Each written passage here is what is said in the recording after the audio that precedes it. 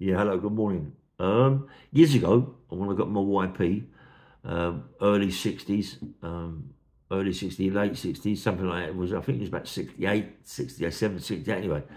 I met a guy uh, in my YP. I was in the laundry, a guy called Alan Pountney. And apparently, a young, young, he shouldn't really be there, you know what I mean? But he was just a bit, bit nutty, yeah. So they put him in a YP to, to, to control, try, try, and control him. No point put him in a little boy's prison because he's that mad, you know. Anyway, he was in the laundry, and uh, his job, he was like a number one. He'd been there for quite some time. Uh, his job was just to make sure everything was done correctly, and he was a nutcase. You know, he was a nut, absolute nutcase, yeah and he used to like stabbing people with these safety pins that you put, you know, safety pins. So we had big safety pins, and they put all the uh, other things like women's knickers and women's bras. They used to wash all that, believe it or not. You know, man, it's wrong in life, seriously. So his job was to check it all, put it all on his safety pins, but he'd stab people with safety pins in the in the backside, and he used to do it all the time, you know. And he was absolutely crazy. He had to keep well away from him, mate. And that is a fruit cake. But he was number one, and when everybody was going going out uh, to, to to to the wings, Alan staying there for a couple of hours and help uh, the old boy and pack things up and do things. But I'm sure the old boy was getting hold of him. You know what I mean? The way things were going in there. So anyway, I'll get shipped out. I'll get moved on. And I ain't seen Alan for years.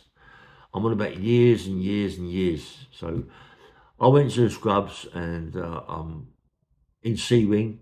I'm walking across the yard and I can't believe it. I went, nah, that can't be Alan Pountney. So I walked a little boy, I looked, looked like a little old man, got a bit bald on top, not quite a lot bald on top, yeah. But still very smart, but very old looking, you know. And I shouted at Alan, and he looked around and went, hello, Ray. You know, he still had that little voice, but looked very old. And I said, oh, how are you going? He said, yeah. I said, fucking mate. I said, you ain't still away, are you? He said, yeah, yeah, he's been away for such a long time because he's just crazy. Don't stop hurting, stabbing people. He's, he's absolutely schizophrenic psychopath. He can't, he what it is, yeah. So I'm talking to him. He said, what are you up to? I said, well, you know, he said, look, come and come. So he got, got a screw. He said, look, can you let him in? He's he's done a bit of bird Ray, let him in. I just want to take, take him to myself, show him some pictures that I got. So I screw said, go on, quick, I'll be up. So I had a quick cup of tea sitting down there, and there's all pictures of the Krays, Ronnie Kray, Reggie Kray, but more so Ronnie, all round his cell. Letters, signatures, everything. Worth a fortune what he's got, you know what I mean? I swear.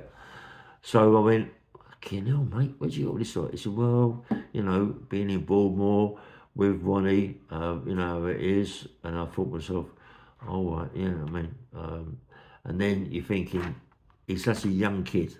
You know that Ronnie's been obliging this boy, you know what I mean? You know it, you just feel it, yeah?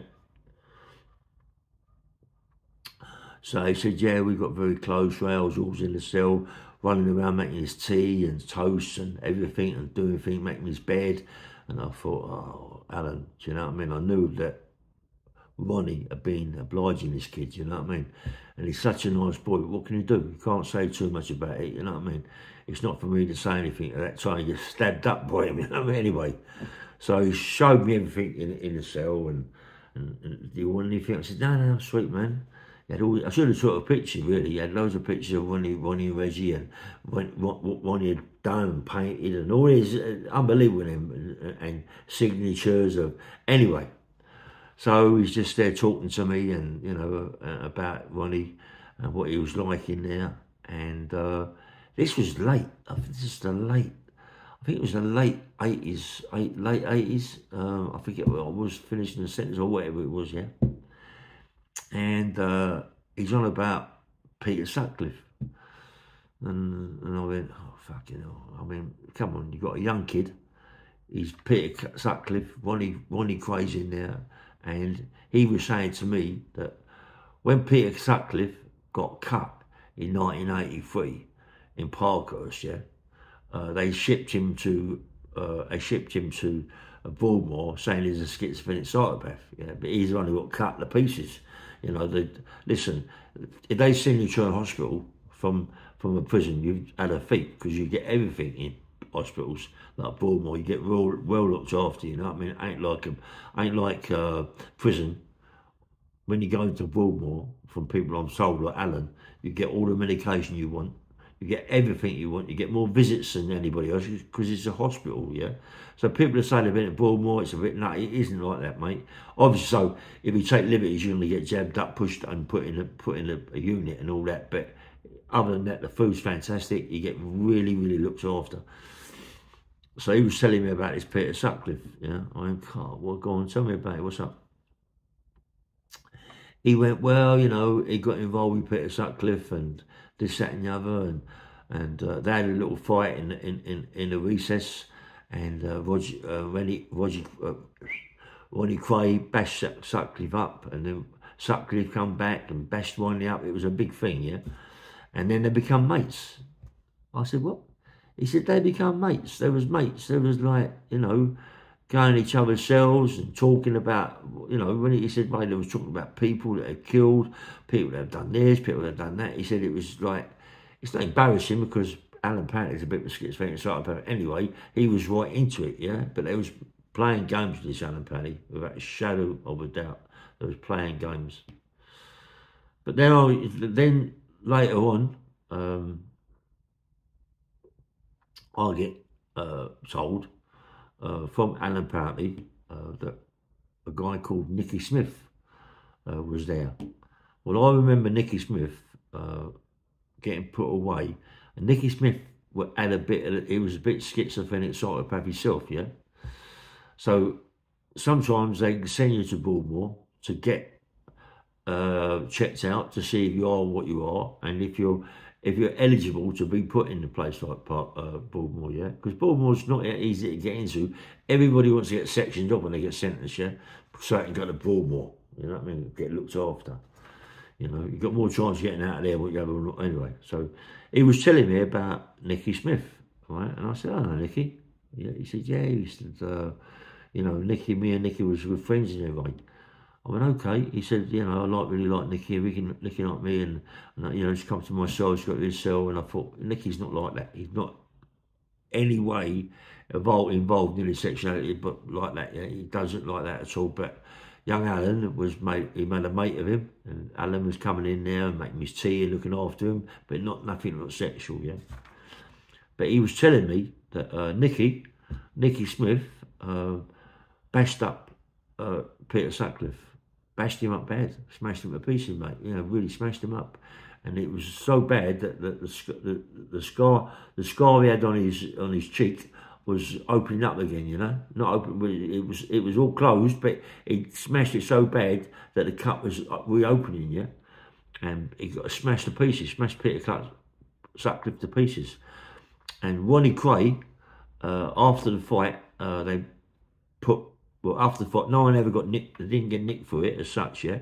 So uh, he was telling me, uh, Alan apparently, that Nicky Smith, it's got to be the, it's got to be the same Nicky Smith. It can't be anybody different. It's got to be my mate Nicky, because the way he described him to me, he reckons that uh, Ronnie Kray uh, went into um, went into uh, Nicky's cell and put it on Nicky, and Nicky can he, Nicky he's a little bit, he doesn't look like he can have a, he's got a white, bad looking face, yeah, but he doesn't look as if, as if he can be a problem, but he is a problem, Nicky. I've had it all my life with him, yeah. Roger, when he, Roger, what, when he got in there, so we go at him, and uh, Nicky's, you know, he ain't bothered who Ronnie Kray is. He don't give a monkey's who he is, you know what I mean? And he's gone in there, and he's had a go at him, had a go at Peter Sutcliffe, and put, bashing him up. And uh, Ronnie Kray went a bit heavy with uh, Nicky, and Nicky bashed him up. Well, not bashed him up, mate, give him a few clumps and put him away. Uh, put, well, I say put him away, put him away like, you know, he couldn't do nothing. He was shattered, mate, just smashed him to pieces. Nicky did, yeah? And Ronnie Kray went, went, walked out of his cell, his tail between his legs, but they shipped him out. It'd been seconds of that happening. So whether or not Ronnie Kray grass Nicky up. I don't know, you know, but I don't put him past him, put him, put that past him, you know. Um, Nicky, he was telling me, and apparently, that he got shipped out of that that place within an hour of that happening, yeah. But Nicky only went there to get looked at. A lot of people go there to get looked at to see if they're if they're going to be sectioned off as such, yeah. But they go there have all these tests and bits and pieces. But Ronnie Craig come right unstuck. Nicky Smith bashed him up in a way, yeah. Didn't bash him up, bash him up like stab him up and all that, which is, which uh, which that's what that's what he would have done. But he bashed him up, mate. Yeah, how about that? I couldn't believe it when he told me. I thought, it's got to be. I mean, I've never spoke to Nicky about it, Nicky Smith. I haven't really heard anything about it, but it's the only Nicky Smith that that I know. And it can only be that Nicky, because I know he went to Broadmoor. I know he went there to get sectioned off, and I know they, they, they shipped him out there, yeah.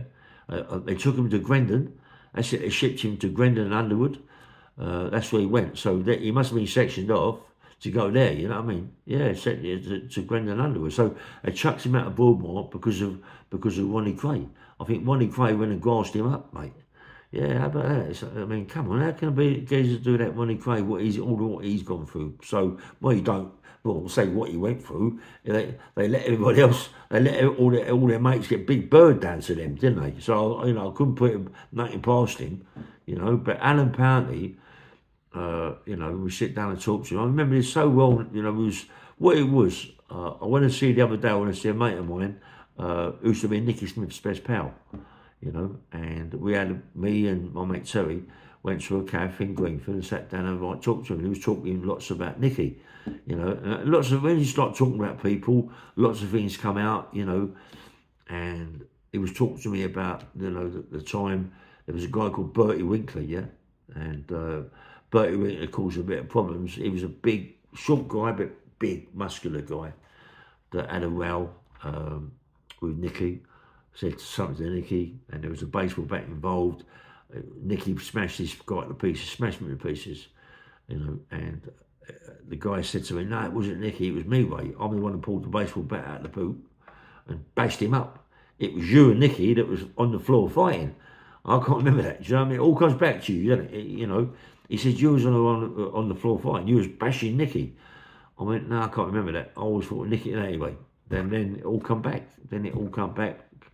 Um, was talking. I went, no, you know. And then he said, yeah, Nicky went to Broadmoor to get sectioned off uh, to see if he was he was he, he, he was suitable. But he, as I say, he shipped him to Grendon. So it can only be that one. It can't be no one else. And he, he, he gave Ronnie Ronnie Kray a good idea. Well, I say good idea.